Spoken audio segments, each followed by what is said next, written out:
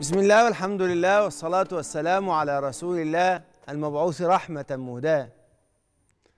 أنوار حضرة النبي صلى الله عليه وسلم أنوار تمل- تملى القلوب وصل بالله سبحانه وتعالى. وخاصة لو كان نور عجيب وسر غريب بين العباد والحبيب مولانا سبحانه وتعالى الحبيب الأجل.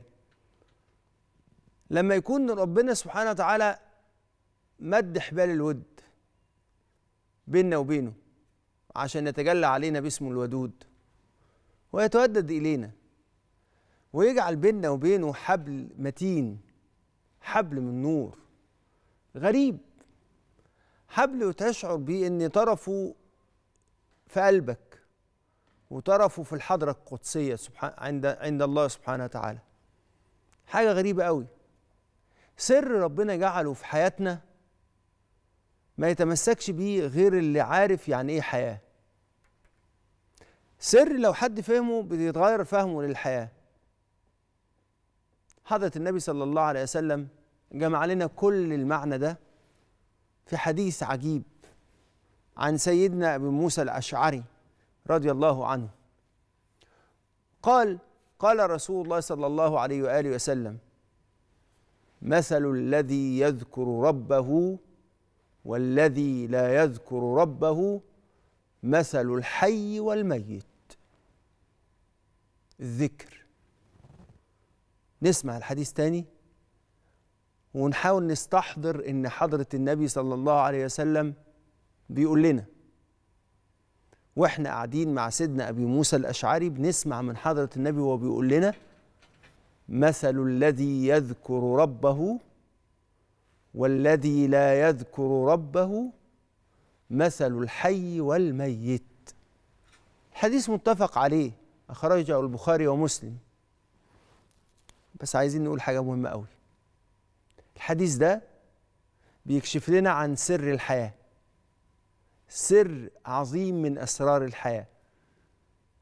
سر الذكر. وإيه العلاقة اللي تخلي الذكر يجعل الإنسان حي؟ يبقى اذا حضرة النبي صلى الله عليه وسلم دائما يضرب لنا الأمثلة.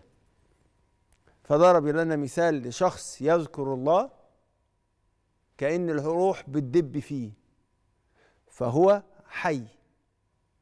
والذي لا يذكر الله جسد ميت لا حياة فيه. مثل الذي يذكر ربه كمثل الحي ومثل الذي لا يذكر ربه كمثل الميت. تعالوا نتأمل هذا المثال. هذا المثال الذي ضربه لنا رسول الله صلى الله عليه وسلم هذا مثال لفهم الحياة كلها. إيه الحكاية؟ تعالوا نشوف. واحد أكل. أكل وشرب. فلما جه يأكل أكل بإيه؟ بذكر الله. فإيه اللي حاصل؟ قال بسم الله. اللهم بارك لنا في طعامنا. فلما أكل أكل باسم الله سبحانه وتعالى. فاكرين حديث؟ إنكم لا تدرون في أي طعامكم البركة. فكأن الذكر سرى في الطعام ونشر البركة في الطعام. اللي هيعرف في أي الطعام البركة هو في الطعام الذي كان مخلوطا بذكر الله. ولذلك حضرة النبي صلى الله عليه وسلم لما كان يضع يده في الماء فيذكر الله الماء يزيد. إذا الذكر يجعل الأشياء تدب فيها الحياة. لماذا تدب فيها الحياة؟ لأننا مع ذكر الله نتذكر أن الحياة بيد الله. يبقى الذي يذكر ربه كالحي مثله مثل الحي لأن ذكر الله يذكرك بالحي فتحيا بالحي فساعتها بيصبح الذكر في الحقيقة عبارة عن مذكر لك. بحقيقة الحياة. يبقى هنا بيبقى جسد الأشياء دب فيه الروح الذي من عند الله. يبقى الذكر يجعل الأشياء يدب فيها الروح. ولذلك الجسد ده الذي تدب فيه الروح يكون بذكر الله. طب وإذا ما كانش فيه ذكر الله يبقى موات.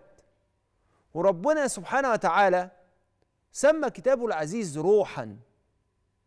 ومعروف إن القرآن هو الذكر. إيه ده؟ إيه الإبداع والجمال ده؟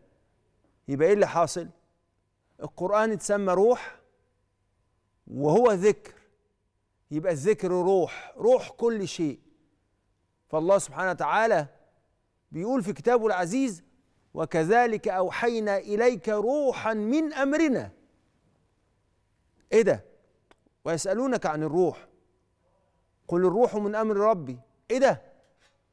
يبقى المثل ده حضرة النبي صلى الله عليه وسلم بيفهمنا إن الذكر إذا كان القرآن ذكر وهو من أمر الله والروح من أمر الله فالذكر هو في الحقيقة روح. إذا دبت في الأشياء جعلتها تحيا. يعني كلما كان الإنسان مكثرا من الذكر كلما كانت الحياة أكثر ظهورا فيه. يعني إذا أردت أن تكون أكثر حيوية فكن أكثر ذكرا. وكلما كان الإنسان بعيد عن ذكر الله كان في عداد الأموات. يبقى المعنى البديع ده ربنا سبحانه وتعالى قالهن عشان نقدر نفهم قوله تعالى أو من كان ميتا فأحييناه وجعلنا له نورا يمشي به في الناس كمن مثلوه في الظلمات ليس بخارج منها يعني إيه؟ يعني في ناس بتحيا. ألا بذكر الله تطمئن القلوب؟ ألا بذكر الله تحيا القلوب؟ يعني الحياة هنا لها معنى تاني غير الحياة الأجساد. يعني الحياة هنا مش الحركة. الحياة تانية الحياة اللي إحنا بنتكلم عنها هي حياة تانية بتجعل الإنسان يرى الحياة بشكل صحيح. مش كل جسد بيتحرك يبقى حي. ولا كل جسد بينتقل وبيتكلم بيكون حي. إنما لابد للتوفر. عشان الحياة تتوفر فيه لازم عشان نقدر نشوف كمال الحياة لازم نكون ذاكرين لله. وكمان الإنسان اللي بيكثر اللي بيكثر من ذكر الله حتى لو انتقل ومات فهو لا يزال قلبه وروحه تحيا بذكر الله. فمن عاش على شيء مات عليه ومن مات على شيء بعث عليه. يا سلام! يعني أفضل كده ويمكن دوت واحدة واحدة نفهم بقى حاجة مهمة جدا. فاكرين حديث رسول الله صلى الله عليه وسلم؟ إذا مررتم برياض الجنة فارتعوا. قالوا وما رياض الجنة يا رسول الله؟ قال حلق الذكر. حلق الذكر اللي منها إيه؟ اللي هي حلق العلم. من حلق الذكر. طب تعالوا نسمع حديث رسول الله صلى الله عليه وسلم. بيقول إيه؟ إذا مات ابن آدم انقطع عمله إلا من ثلاث. منها علم ينتفع به يعني ذكر ينتفع به. يبقى الذكر حياة بعد الحياة. يبقى لازم نعرف قانون إن الذكر بيتجاوز الزمان والمكان. ليه؟ لأن هو الحياة الحقيقية. يبقى حضرة النبي بيعلمنا هنا حاجة تحيا بها قلوبنا وهي ذكر الله. لأن اللي هيذكر الله سبحانه وتعالى الله سيذكره. فاذكروني أذكركم. فما بالك بعبد يذكره الله سبحانه وتعالى فحياته لا تنتهي. إحنا محتاجين إيه عشان نقدر نحصل ده؟ إن إحنا نقدر نعيش في الحياة بهذه الطريقة. إحنا محتاجين شوية حاجات. أول حاجة محتاجين إيه؟ محتاجين ثلاث مفاهيم. المفهوم الأول الحضرة. يعني إيه الحضرة؟ أن تذكر الله وأنت بين يدي الله. دايما أقول لأحبابي كده. الله سبحانه وتعالى من علامات صدق الحب أن تقبل عليه وأن تسير إليه وأنت, وأنت واقف بين يديه. يبقى لما تيجي تذكر ربنا عشان يتحصل في قلبك هذه الحياة لازم تذكر الله وأنت في حضرته. وأنت بين يدي الله. يبقى أول حاجة تذكر الله وأنت بين يدي الله. يبقى تفهم إن ذكرك ده مسموع. ذكرك ده محفوظ. ذكرك ده محبوب. ذكرك ده يفتح عليك أبواب الوصال بالله سبحانه وتعالى. أول حاجة الحضرة أن تذكر الله وأنت في حضرته. الحاجة الثانية الحضور تذكر الله وأنت حاضر. يعني إيه حاضر؟ ما انت في حضرة مولانا سبحانه وتعالى بس انت حاضر ولا انت غايب؟ يعني إيه غايب؟ يعني بتقول سبحان الله. هل انت منزه لله سبحانه وتعالى؟ منزه لله على ان هو مش داري بأحوالك؟ فنزهته عن الجهل بأحوالك؟ بتقول يا رب وانت عارف ان هو رباك على حسن المعاملة؟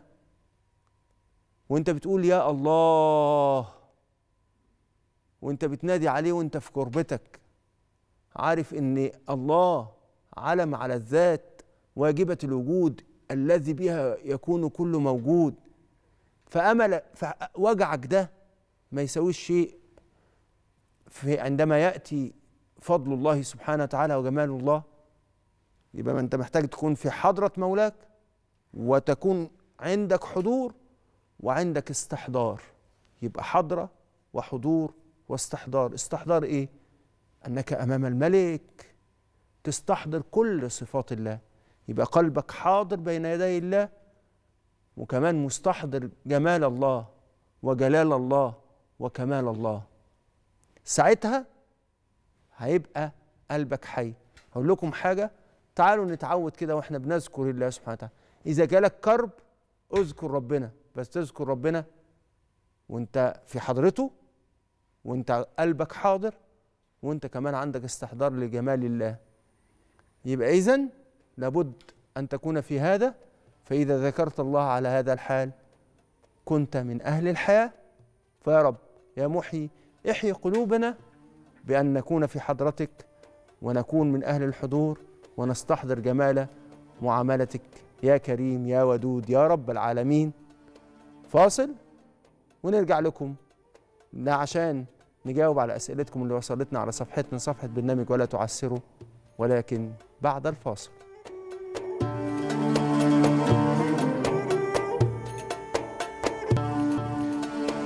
رجعنا لحضراتكم ومعانا صفحتنا على الفيسبوك صفحة برنامج ولا تعسروا اللي بنتلقى عليها أسئلتكم ونخصص لها وقت زي الوقت اللي إحنا فيه دلوقتي عشان نجاوب على أسئلتكم المباركة اللي هي في الحقيقة بتخلينا دايما في مجالس النور ومجالس الذكر.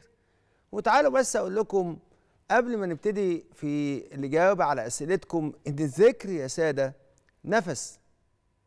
نفس من نور. نفس من نور بيجي لنا من حضرة النور سبحانه وتعالى. يبقى إذا كنا بنتكلم على أن الذكر لازم نستحضر فيه الحضرة فلازم نعرف أن ده نفس من نور. الإنسان اللي بيحصل أن هو يكون ذاكر لله بيحس بنفس. أنت مش بتخرج هوا. أنت بيدخل فيك نفس مكتوب عليه ونفخت فيه من روحي. وعشان كده الذكر نفس ولكنه نفس من حضرة النور سبحانه وتعالى. الحاجة الثانية النفس روح. روح من وصل. إذا حضر بها الإنسان بتذهب عنه كل جفاء كان بينه وبين الله. لازم هو يحس بكده إن ذكره لله قطع كل جفاء. كل جفوة كانت بينك وبين الله خلاص زالت. حتى لو كان الذكر بقلبك حتى لو كان الذكر بعمل صالح أنت عملته. فيحصل إيه؟ إذا قلبك قال ربي هتسمع هيسمع قلبك على طول لبيك عبدي. الله يقول لك لبيك عبدي. وكمان الذكر لازم نعرف إن الذكر نفحة. نفحة من مدد يملأ قلبك بالوص... يملأ قلبك بماذا؟ يملأ قلبك بنعم. نعم إيه؟ أن الله معك. تذكر؟ إذ يقول لصاحبه لا تحزن إن الله معنا. لازم تبقى عندك ده. لما تذكر ربنا تذكر النفس وتذكر الروح وتذكر النفحة. الذكر كده. نعمل إيه؟ لازم الذكر ده لازم أنت دايما يكون عندك ورد من الذكر. ولازم إذا كنت مش قادر تذكر لازم قلبك لا ينقطع عن الذكر. الناس بيتريض على الذكر حتى قلوبهم تبقى موصولة بالذكر على طول. وبيوتنا لازم تتملي بالذكر. ليه؟ حضرة النبي صلى الله عليه وسلم قال لا تجعلوا بيوتكم كالمقابر. عايزين بيوتكم تبقى مش مقابر ساكن فيها أموات. عايزين قلوب بيوتكم تبقى جنات ساكن فيها منعمين أحياء في جنة خلد. اذكروا الله. اعملوا مجالس للصلاة على حضرة النبي ومجالس للذكر. تتنور قلوبكم وتنور بيوتكم كمان. تعالوا نشوف أول سؤال من الأسئلة اللي جات لنا على صفحتنا صفحة برنامج ولا تعسروا. بتقول السؤال بيقول إيه؟ زوجي دايما سريع الغضب والانفعال ودايما يفهمني عكس ما قصدت وهو دائم الخروج من المنزل ويحب أن يبقى خارجه ودايما بين أطفالي نزاع. يعني الأولاد بينهم خناق دايما ما بين الأولاد. هل في شيء من السحر؟ وما الحل مع زوجي؟ يا ريت تجاوبني يا شيخ في أي وقت لأن زوجي تعبني. هو الحقيقة أنا حاسس إن أنتوا الاثنين تعبين بعض. في الحقيقة أنا حاسس إن أنتوا الاثنين تعبين بعض. ليه؟ عشان بس الناس تبقى فاهمة إن مفيش مشكلة. ربنا سبحانه وتعالى جعل شوية سنن كده. من السنن اللي جعلها في الحياة الزوجية إن مفيش مشكلة زوجية سببها طرف واحد بس. لا سببها بيبقى الطرفين. بنسب مختلفة. فالمشكلة اللي عندنا دي سببها إيه؟ سببها إن الزوجة بتقول إن زوجها مش فاهمها مش فاهمها طول الوقت وبيفهمها غلط. الحكاية دي بتبقى في مشكلة في التواصل. إيه المشكلة اللي في التواصل؟ إن كل واحد حريص إن التاني يفهم جوانياته لما الست بتشتكي إن جوزها ما بيفهمهاش في الغالب هي ما بتقولش إن هو هو أكيد بيفهم. يعني أكيد بيفهم والدليل على ذلك إن هو بيعرف يركب المواصلات وبيعرف يشتغل. أكيد هو بيفهم بس هو أكيد أنت عندك مشكلة في إن هو مش فاهمك أنت بالذات. يعني لو سألتك هتقولي لي هو بيفهم كل الناس وذكي وبيحب الناس وعنده ذكاء اجتماعي وعنده كل حاجة بس هو مش فاهمني أنا. عارفة ليه؟ لأن أنت في الحقيقة مش عايزاه يفهم كلامك أنت عايزاه يفهم مشاعرك يفهم اللي جواك يفهم دوافعك وأنت بتكلميه. يعني لما تيجي تقولي له أنا عايزاك تقعد معانا شوية فهو بي ما بيفهمش مشاعر احتياجك إن أنت تكو إن أنت محتاجاه إن هو ياخد بحسك وإن هو يحتويكي وإن هو يحسسك بالأمان. فهو ما بيفهمش ده. فعشان ما بيفهمش ده انت بتقولي ان هو ما بيفهمكيش. هو بيفهمك عكس مقصودك فانت لما بتقولي له أنا عايزاك تقعد معانا شوية فانت بتح... فهو بيقول لك إيه؟ يعني انت قصدك ان أنا مش قايم بواجباتي؟ آه لأن في الحقيقة هو بيفهم بطريقة تانية لأن الخبرة والتراكمات اللي بينكم الخبر الخبرة غير المناسبه اللي بينكم بتخليه يفهم كده. الحل إيه؟ الحل مش انك انت تمتنع عن الكلام انت سألتيني الحل إيه؟ الحل في حالة حضرتك هو الحوار. إن أنتوا تقفلوا صفحة قديمة من كل اللي حصل بينكم وتبتدوا مع بعض حوار جديد. تعملوه إزاي ده؟ تقعدوا مع بعض ساعة تتكلموا في كل اللي فات.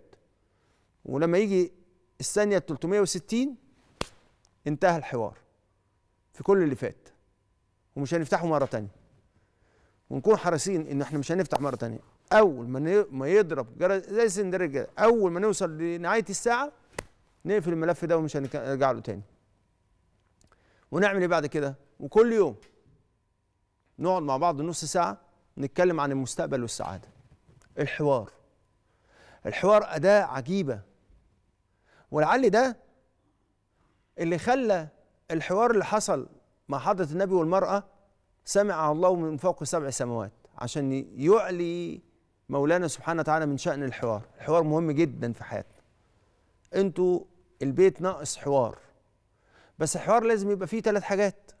لما تيجي تسمعي جوزك ولما جوزك يجي يسمعك ولعله يكون بيسمعني كمان لازم أول حاجة أف أفهم أفهم شريك حياتي. أفهمه يعني إيه؟ أفهمه زي ما هو بيتكلم. مش أفهمه زي ما أنا عايز أفهمه. بلاش أفهمه وأنا عندي أجندة. الأجندة دي لما بفهم الآخرين بأنهم عندهم أجندة ده سوء ظن. وسوء الظن حرام.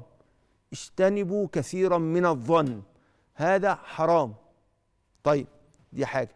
الحاجة الثانية يبقى أنا أفهم شريك حياتي زي ما هو بيتكلم مش زي ما أنا عايزه بيك... زي مش زي ما أنا عايز أفهمه. تاني حاجة لازم أتفهم. يعني أعرف دوافعه وهو بيتكلم كده ليه؟ بيقول كده ليه؟ هو لما بيقول لي هو أنا ما بقومش بواجبي هو مش قاصد إن هو يلومك على إنك أنت ما تشوفيش هو عايز امتنان. فأنت لو امتنتي له حصل المراد. تالت حاجة التفاهم. لما يكون بينا خلاف في وجهات النظر ما نقومش إلا وإحنا متفقين على شيء مشترك. يبقى إحنا محتاجين حوار. الحوار ده الحقيقة يخلي الناس الحوار بهذه الطريقة يدخل في قوله صلى الله عليه وسلم والكلمة الطيبة صدقة. يبقى الحوار بالثلاث شروط اللي إحنا بنعملها دول هو صدقة. والصدقة تطفئ غضب الرب والصدقة أيضا تصلح البيوت. ده أول سؤال. طب هي بتسألني في سحر؟ سحر إيه؟ أنتوا أنتوا اللي بتسحروا البعض مفيش سحر ولا أي حاجة. يعني إيه أنتوا اللي بتسحروا البعض يعني ولا في سحر ولا يحزنون. أنتوا اللي بتوجعوا بعض. أنتوا اللي بتألموا بعض. أنتوا محتاجين إكسير الحياة الزوجية. محتاجين ماء الحياة الزوجية. التي الذي هو الحوار. الحوار هو الماء الذي بيسري في الحياة الزوجية. بدون حوار البيت يصبح وقد اشتعلت فيه النار. حتى لو أهله صامتون لكن في نار في نار في القلب مختزنة. فعشان كده تحاوروا يرحمكم الله. السؤال اللي بعد كده بيقول هو قتل النمل المؤذي حرام؟ أعصابي وجعاني منه جامد. أنا هجاوب على السؤال ده فيه جزئين. الجزء الأولاني هل قتل النمل المؤذي حرام؟ لا. قتل النمل المؤذي مش حرام. طيب الحاجة الثانية أعصابي بقى وجعاني. أعصاب حضرتك وجعاكي ليه بقى؟ أعصابي وجعاني. أعصابك وجعاكي في بعض الأحيان أعصابك بتبقى وجعاكي ده لأن إحنا عندنا احتياج لدعم نفسي. إن كل حاجة بحس إن هي بتألمني وبتعصبني وبتتعبني وأنا بدخل في حالة صعبة جدا جدا جدا. ممكن أكون أنا محتاج دعم نفسي. بس بس هو في الحقيقة لو حضرتك بتسأليني أنا شايف إن انت محتاجة شيء من الاحتواء شيء من الحنان يبعد عنك كل هذا الوجع. لأن الإنسان لما بتبقى الأشياء البسيطة دي بتوجعه قوي بيبقى هو محتاج لحد يقف جنبه قوي. وعشان كده إيه اللي حاصل؟ لو أنت عندك لو أنت في محيطك حد أب زوج اطلبوا منهم إن هم يقعدوا معاكي اطلبوا منهم إن أنت تكلميهم. اطلبوا منهم إن هم يساعدوكي ويكونوا أكثر دعما ليكي لأن دوت هيخفف من عليكي الوجع قوي. طيب السؤال اللي بعد كده بيقول أنا دلوقتي أبويا رافض عروسة أنا بحبها. وبقالي سنين معاه. وأنا كنت كلمت أبويا عليها من فترة صغيرة. وقال لي تمام ماشي اسأل على أهلها. وبعد كده ناخد خطوة. المهم سألت على أهلها. وطلع إنهم ناس طيبين. وفي حالهم ومحدش قال في حقهم كلمة وحشة من المنطقة عندهم. مع العلم إن والدها متوفي. فكلمت أبويا رافض تماما بعد ما كان موافق. مش عارف أعمل إيه معاه مش عارف أعمل معاه إيه. مسألة بسيطة خالص. استمر. استمر لغاية ما يرضى. أنا لا أحب أن تتزوج وأهلك غير راضين. لأن أنت لو تزوجت وأهلك غير راضين إيه اللي هيحصل؟ البيت سيشتعل نارا. طب والحل هو إيه بقى؟ وممكن يكسروا في في زوجتك ويقولوا عنها كلام يوجعها ويضايقها وتحس بإن هي مرفوضة وتفتح باب للشر والعياذ بالله. طب تعمل إيه؟ استمر في استرضاء والدك. استمر في الكلام الحسن عن خطيبتك. استمر في الكلام الحسن عن أهلها. جيب ناس هو بيقتنع برأيهم وخليهم يكلموه. ليه طيب؟ هو أنت لو اتجوزت يبقى أنت كده. عقل والديك؟ لا. بس في نفس الوقت المسألة نحن لا نحب أن تقبل على الزواج وأهلك لا يقبلون هذا. ليه؟ ليه؟ عشان ما تأذيهمش وما توجعهمش. فيحصل فساد في العلاقة بينك وبينهم. فيترتب عليه أشياء غير محمودة العاقبة. فيبقى اللي حاصل إيه؟ استمر في إقناع والدك. استمر في إقناع إيه؟ والدك. واسمع منه هو رافضها ليه. اسمع منه بدقة وما تعتبروش رافضها بس عشان هو عنده هوى. هو عنده أشياء مخاوف. هو خايف لأن هو بيشوف إن الجواز علاقة ما بين أسرتين. فحاول تطمنه ده لأن أنت لو طمنته بده هو هيحس بسعادة وبهنا وهيحس إيه؟ بإن هو فعلا حصل حسن الاختيار. هو خايف عليك من سوء الاختيار فحاول تطمنه عشان يحصل له الإحساس بإنه حصل حسن الاختيار. لو عملت كده أنت في الحقيقة هتكون شخص بتفتح أبواب السعادة على على على في حياتك وما بتوصلش حياتك إلى منطقة توصلك إلى الشقاق بينك وبين زو وبين والدك. لأن ده هيترتب عليه كثير من المشكلات إذا أنت ما عملتش ده. يبقى إيه اللي حاصل؟ بهدوء. أنا شايف أن تتأخر ليرضى والدك أفضل مليون مرة من أن تتسرع في الزواج ويحصل ما لا يحمد عقباه. أنا شايف إن الكلام ده هيكون أسلم ليك وأحسن. سؤال بيقول هل لقبول التوبة علامات؟ وهل كشف الستر عن الذنوب أمام الناس ابتلاء أم عقاب وغضب من الله سبحانه وتعالى؟ الجزء الأولاني من السؤال بيقول هل لقبول التوبة علامات طبعا. قبول التوبة علامات منها علامة إن الله سبحانه وتعالى ماذا؟ يبسط النور في قلبك. تحس بإن نور في قلبك. ومن قبول التوبة إن ربنا سبحانه وتعالى ييسر لك العمل الصالح بعد التوبة. ولذلك حضرة النبي صلى الله عليه وسلم يقول خير العمل أدومه وإن قل.